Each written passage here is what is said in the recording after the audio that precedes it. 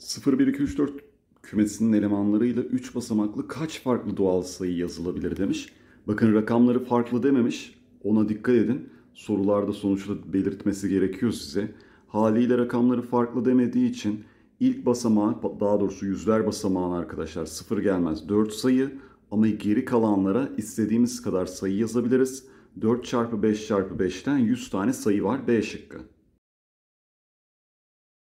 0, 2, 4, 5, 6, 7 kümesinin elemanları kullanılarak rakamları farklı 3 basamaklı ve 5 ile tam bölünebilen kaç doğal sayı yazılabilir demiş. Şimdi 5 ile bölündüğü için arkadaşlar son basamağa bir kere 0 veya 5 gelmesi lazım. Yalnız burada neyi görmeniz gerekiyor? Sıfırın özel bir durumu var. Sıfırın da başa aynı zamanda gelmemesi lazım.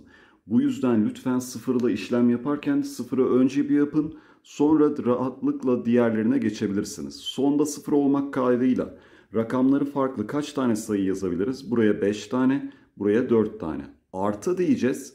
Şimdi artık buraya 5 yazabiliriz. 1. Böylece başta 0 olmaz arkadaşlar. 5'i de yazdık. 1, 2, 3, 4 hakkımız kaldı. Toplamda 6 sayı vardı. 6 sayıdan 2 tanesini kullandık. 4 tane kaldı. Gördüğünüz gibi 20, 16 daha 36 sayı yaptı. C şıkkı oldu. Rakamlarının yerleri değiştirilerek denmiş arkadaşlar. Bu yüzden görmemiz gereken şey bakın şimdi başa 0 gelmez. 1, 2, 3, 4, 5. Başa 0 gelmeyeceği için buraya 4 sayı yazabiliriz. Kaldı 4 sayı, sonra 3, sonra 2, sonra 1 değil mi? Ancak 3'ler 2 tane tekrarlı, 2'ler 2 tane tekrarlı. Bunları bölmeyi unutmayın çünkü 3'lerin kendi arasında yer değiştirmesinin hiçbir anlamı yok. 3 önce 3 sonra saçma olduğu gibi 2 önce 2 sonra farklı saçma yine. Bu yüzden arkadaşlar bunları böleriz. 4 kere 3 12 24 tane sayı yazılabilirmiş B şıkkı. Kümesinin elemanlarıyla rakamları farklı 4 basamaklı kaç çift doğal sayı yazılabilir? Arkadaşlar 4 basamaklı denmiş. Bir de burada dikkat etmemiz gereken sıfır varsa işin içinde lütfen onu ayrı değerlendirin. Çünkü çift olduğu için sona gelebilir. Bir de başa gelmemeli. Bunu eğer diğerlerinin içinde katarak buraya 0, 2, 4, 6'dan 4 taneden bir tanesi gelebilir derseniz şöyle bir hata yapmış olursunuz. Buraya belki 0 gelmeyecek. Başka bir sayı gelecek. Bu sefer sıfırın buraya gelme ihtimali doğacak. O yüzden böyle yapmayız. Sıfır hem başa gelmez hem sona gelir kıstasından dolayı sıfırı ayrı değerlendiririz. Sıfırın sonda olduğu durum bir tane burada. Sonra geriye 6 sayımız kaldı. Böylece 6, 5, 4 diyebiliriz. Artı artık arkadaşlar bir de ne diyeceğiz? 2, 4, 6'dan bir tanesinin son basamağa geldiği durum. 0 başa gelmez. Geriye 6 sayıdan kaç tane kaldı? 5 tane kaldı. Toplam 7 sayı vardı. 2 tanesini kullandık. Buraya 5 kaldı. Buraya da 4 kaldı. Böylece 25 çarpı 12 300 burası 30 çarpı 4 120 toplamları böylece 420 yaptı arkadaşlar D şıkkı. Kümesinin elemanları kullanılarak yazılabilecek 3 basamaklı doğal sayılardan kaç tanesi 500'den küçüktür? Şimdi 500'den küçük olduğuna göre burada zaten 0, 1, 2, 5, 6 var. E 0 başa gelmez. Demek ki bir e, buradaki binler yüzler basamağı pardon. Şurayı sileyim. Buradaki yüzler basamağına arkadaşlar ya 1 gelir ya 2 gelir. Böylece burada 2 hakkımız var. Gerisinin hiçbir önemi yok. Bakın şimdi bu bir küme. Şöyle değil. 0, 1, 2, 5, 6 sayısı değil. Böyle olsa rakamlarının yerleri değiştirilerek diyor zaten. Küme olduğu zaman istediğiniz kadar seçebilirsiniz demektir. Sonuçta şöyle düşünün. Matematik kelimesini burada arkadaşlar yazarken normalde bu kümenin elemanlarıyla oluşturulabilecek küme kaç tane oluyor? M, A, T, I, K oluyor değil mi? Ama bakın M'yi burada biz iki kere kullanıyoruz ya da A'yı iki kere kullanıyoruz. Bu yüzden buna dikkat etmek gerekiyor arkadaşlar. E, şurada E de var tabi. Haliyle 5 elemanlı bir kümeden istediğin kadar burada sayı kullanırsın. İlk basamağa 2 tane, diğerlerine istediğin gibi 5'er tane yazarsın. Böylece 25 çarpı 2'den 50 tane sayı olur. Bunlara lütfen dikkat edin. Basit ama önemli ayrıntı bunlar. Renkleri aynı olan özdeş bakın gömlekler var. Bunları yan yana sıralayacağız. Tabii çok basit bu. Direkt şunu diyeceksiniz. Normalde hiçbir şart olmasaydı 7 faktöriyel. Ancak iki tanesi aynı. 3 tanesi kendi içinde aynı. 2 tanesi kendi içinde aynı deyip bölmemiz lazım arkadaşlar. Böylece 210 gelecek cevabımız C şıkkı. Rakamlar yan yana demiş arkadaşlar 3 ve 4 ve bunlar kesinlikle var olacaklar bu 4 basamaklı sayının içinde. 1, 2, 3, 4. Nasıl yan yana olurlar? Ya burada 1, ya burada 2 ya da burada böyle 3 durun. Örnek temsili bir görüntü burada ve burada olsunlar. Şimdi 3 yerden birine bu 3 ve 4 yerleşti. Bir de gördüğünüz gibi burada kendi aralarında yer değiştirebilirler. Mesela 3-4 olduğu gibi 4-3 de olabilir. Bu yüzden 2 faktöriyel. Bunların yerlerini belirledik. Artık kalan böyle iki tane yere temsil olarak dedik ya örnek görüntü bu sadece. Bu kalan iki yere kalan arkadaşlar 4 sayıdan bir tanesi yerleşir. Sonra kalan 3 sayıdan bir tanesi de oraya yerleşir. Böylece 36 çarpı 2'den 72 tane sayı olur D şıkkı. Neye dikkat edeceğiz arkadaşlar? 1. 3 basamaklı. 2. E, 300'den küçük olacak. 3. Rakamları farklı. 4 çift doğal sayı. Bir de benim ekstra ekleyeceğim şey var. 2 burada özel durumdur. Niye biliyor musunuz? Hem yüzler basamağına hem birler basamağına geliyor. Aynı anda iki yerde olamayacağına göre hemen bunu ayrı değerlendireceksiniz. 1. Diyeceksiniz ki 2 başa gelsin. Bir durum. Özel durumları ayrı yapmazsanız muhakkak bulmanız gerekenden daha fazla bulursunuz. Zaten öyle bulmuş olan arkadaşlarımız olabilir. İkiyi ayrı değerlendir. Hem başa hem sona gelmesin. Buraya yazdık. Sonra geriye arkadaşlar çift sayı olması için 0'a ve 4'ten iki tanesinden bir tanesini buraya yazarız. Böylece toplamda uyduruyorum bunu kullandık diyelim. 2'yi de kullandık. 4 tane sayı kaldı. Buraya da 4 yazacağız o zaman. Birincisini hallettik bakın. Gelelim şimdi ikinciye. İkinci de birler yüzler basamağına 1 yazayım. Böylece 300'den küçük olsun. Sonra arkadaşlar buraya 0, 2, 4'ten 3 taneden bir tanesini yazabiliriz. Diyelim buraya 0 geldi son basamağa. İlk basamakta zaten 1 vardı. Toplam 4 sayımız kaldı. Burası da 4 oldu. 8 buradan, 12 buradan 20 tane sayı varmış arkadaşlar. B şıkkı. Elinde 5 harf var, 4 tane de rakam var. Bunlardan arkadaşlar 3 tane harf ve 2 tane rakam kullanacak. Son iki basamağında harf bulunan şifresi. Bakın 5 basamaklı bir şifre. Buraya harf, buraya harf gelecek. Buna göre bakmamız lazım. Şimdi o zaman hemen özel durumdan başlıyorum. Diyorum ki 3 harfimiz kullanılacak burada toplamda. Elimizde kaç harf var? 5 tane harf var. O zaman şöyle derim. 5 çarpı 4. 5 harften bir tanesini işte buraya yazayım. Kalan 4 harften bir tanesini buraya yazayım. Şimdi artık arkadaşlar burada e, istediğimiz gibi harfleri ve kelimeleri kullanabiliriz. Bir tane harfi kullanacağız. Diyelim bir tane harfi istediğiniz 3 yerden bir tanesine yazın. Örnek buraya yazmış olalım. 3 yerden birini aldım. Bak bu önemli. 3 yerden birine hangi harfi kullanacağım peki? A, B, C, D, E olsun mesela. Biz diyelim A ve B'yi burada kullanmış olalım. 3 harften bir tanesini oraya yerleştirdim. 1, yerini buldum. 2, oraya hangi harfi yerleştireceğimi buldum. O yüzden 3 çarpı 3. Belki bazı arkadaşlar burayı atladı sadece 3 yazdı. Çarpı kalan 2 tane yere 4 rakamdan bir tanesine 4 rakamdan bir tanesine bakın yerleştirdim buraya. Kalan 3 rakamdan bir tanesini de oraya yerleştirdim. Şu görüntü temsili bir görüntü tamam mı? Onu örnek olarak gösterdim. Yani sonuçta burası, burası, burası üçünden birine gelirdi. Böylece 3 çarpı 3 çarpı 4 çarpı 3 bir de burada arkadaşlar 5 çarpı 4 var. Bunların çarpımı ne oluyor? 2160 D şıkkı. Kümesinin elemanları kullanılarak yazılabilecek 3 basamaklı doğal sayıların kaç tanesinde en az 2 basamağındaki rakam aynıdır demiş. En az 2 basamağındaki rakam aynıdır ne demek? Tüm durumlardan rakamları farklı olanları çıkar demek arkadaşlar.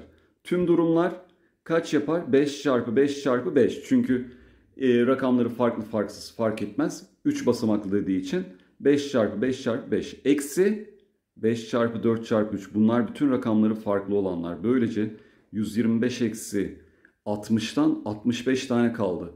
Haliyle cevabımız D şıkkı oldu. Bunu arkadaşlar böyle yapmazsanız başka böyle hani tek tek iki basamağı aynı olsun, üç basamağı aynı olsun derseniz biraz daha böyle yanlış yapma ihtimalinizin yüksek olduğunu düşünüyorum ki yapamayan bazı arkadaşlarımız muhtemelen o yüzden yapamadı. Lütfen bu durumu yeri geldiği zaman bu en az bir, en az iki sorularında tüm durumlardan eksi istenmeyen durumları çıkarmamız gerektiğini görün lütfen. Kelebek kelimesinin harflerini kullanacağız.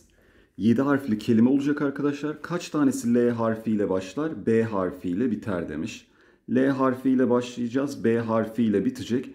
Ekstra hiç özel bir şey olmayacak. Hani ufacık bir özel bir şey var. L ile başlasın, B ile bitsin. Geriye 5 harf kaldı. 5 faktöriyel bölü E'ler arkadaşlar 3 tane tekrarlı kendi aralarında yer değiştirmelerin hiçbir anlamı yok. Yine K'lar arkadaşlar tekrarlı. Bu yüzden 120 bölü 12'den 10 tane sayı yazılabilir. L ile başlayıp B ile biten B şıkkı. Kümesinin elemanları kullanılarak yazılabilecek 3 basamaklı doğal sayıların kaç tanesinde 3 rakamı vardır? Burada arkadaşlar 3 rakamı vardır diyor ya. Kaç tane 3 rakamı var? 1 mi 2 mi 3 mü? Onu söylememiş. O zaman özgürsün demek. Soruda sana şöyle demeliydi o zaman. Kaç tanesinde bir tane rakamı vardır? Ya da kaç tanesinde iki tane rakamı vardır? Ya da kaç tanesinde üç tane rakamı vardır? Bunu söylemiş mi? Hayır. O zaman 3 basamakta arkadaşlar 3 olabilir. Böyle. Böyle bir tane durum olur. Sonra 2 tane 3 olur arkadaşlar. Bir de bu sayılardan bir tanesi. O zaman yapıyorum bakın. Diyorum ki 3'leri buraya yerleştireyim. Temsil olarak bir tanesini 3 yerden birine örnek burası olsun. Yine kalan 2 yerden bir tanesine de arkadaşlar o diğer 3'ü yerleştireyim. Sonra ne söyleyeceğiz peki? Diyeceğiz ki burada artık 3'ü kullandık. Geriye 5 rakam kaldı. 5 rakamdan bir tanesini de gördüğünüz gibi kalan basamağa yerleştiririm. Soruda tabi burada en önemli noktalardan bir tanesi ne arkadaşlar? 2 faktöriyle bölmeyi unutmayacağız. Çünkü 3'ler kendi arasında yer değiştirmez. Buradan haliyle 15 tane sayı oldu. Buraya böyle bir yıldız koyayım şu kısmına. Şimdi gelelim bir tane 3 olsun arkadaşlar. Rakamları farklı olsun. Bir tane 3 olursa 3'ten bir tanesi daha doğrusu 3'ü bu 3 yerden bir tanesine yerleştiririm. Temsil olarak buraya yerleştirdiğimi düşünün. 3 yerden birine 3 yerleşti. Kalan 2 yere 5 sayıdan bir tanesi yerleşir. Kalan 4 yere kalan bir yere 4 sayıdan bir tanesi yerleşir. Böylece 60 tane sayı olur. Bir de ne diyeceğiz? 3 olur ama 3'ün yanında bir tane daha sayı olur. Rakamları tekrarlı olur. Örnek 223 sayısı gibi düşünün. Haliyle ne olacak bakın orada da e, temsil olarak hangi sayıyı seçtiğim önemli değil.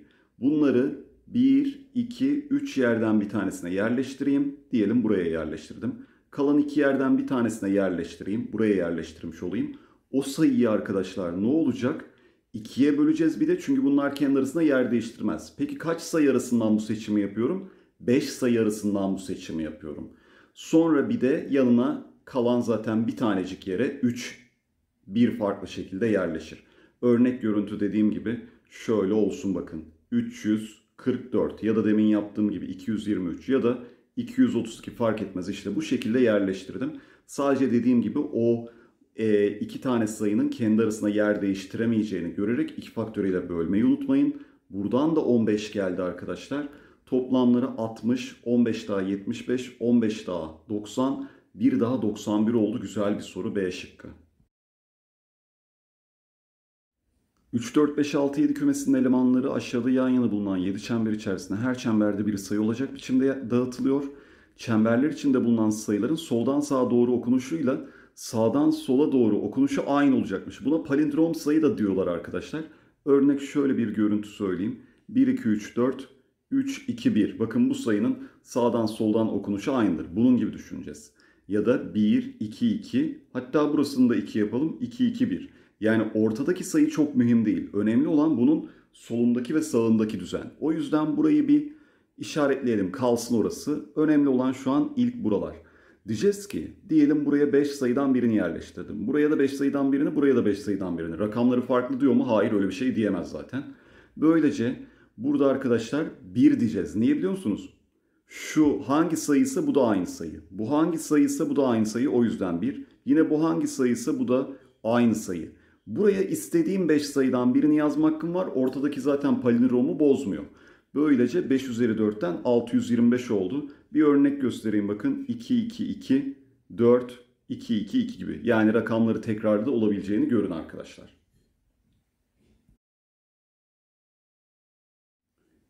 20.345 ve 45.321 sayılarının kutu numaralarının toplamı demiş. Bunlar e, kullanacağız. Rakamları farklı olacak bir de. Şimdi 2000 daha pardon 2000 diyorum. 20.000 21.345 nasıl arkadaşlar? Bir kere birlerin hepsi yazılmış. Birin en başta olduğu kaç durum vardır? 4 faktöriyel tane.